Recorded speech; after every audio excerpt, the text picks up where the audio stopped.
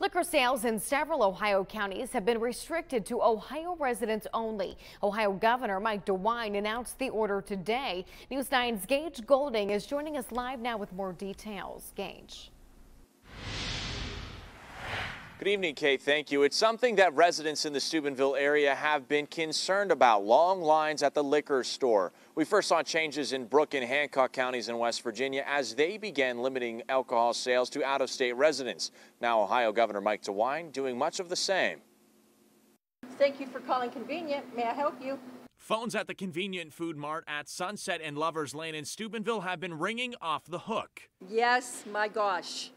At least a 100 a day or more. Workers say many of the callers are from Pennsylvania asking if they're selling liquor. Mostly they're coming in to see if we have the liquor and then I'll send them to Kroger's. Christmas time, this is like a New Year's Eve. Um, just, you know, as much wine as we're selling in beer. The increased business has created long lines.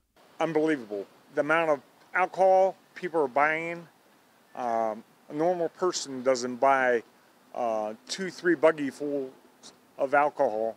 Residents aren't the only ones raising their eyebrows. Monday, during a coronavirus news conference, Ohio Governor Mike DeWine issued an order that would restrict the sale of liquor to Ohio residents only in six counties, including Jefferson, Belmont, and Columbiana. This is necessary because we've had re repeated, uh, I've received repeated complaints uh, from chiefs of police, uh, from others from that part of the state about the situation with folks coming in from Pennsylvania, coming into those counties.